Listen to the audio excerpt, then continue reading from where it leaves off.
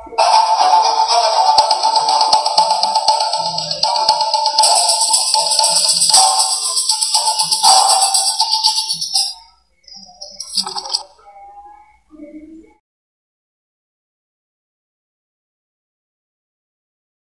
lagi di Ahmad Bangpu, membahas seputar tutorial dan informasi paling jos. Sesuai judul video, Mimin mau sharing tutorial tentang cara mentransfer saldo ShopeePay ke rekening bank. Oke pertama, setelah kita masuk ke aplikasi Shopee, kita klik tombol ShopeePay. Lalu klik transfer ke bank. Nah, berhubung di sini Mimin baru pertama kali transfer maka harus verifikasi identitas terlebih dahulu. Caranya mudah kok mas bro. Pertama, verifikasi wajah terlebih dahulu. Langkah kedua kirim foto KTP. Lalu, isi alamat sesuai KTP dan klik konfirmasi.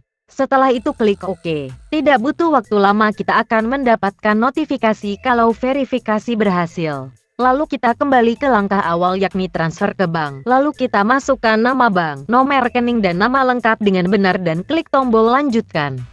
Jika sudah masukkan jumlah uang akan ditransfer lalu klik lanjutkan, dan terakhir klik tombol transfer sekarang. Nah, itulah tadi tutorial singkat dari Mimin. Jangan lupa senyum, dan sampai jumpa.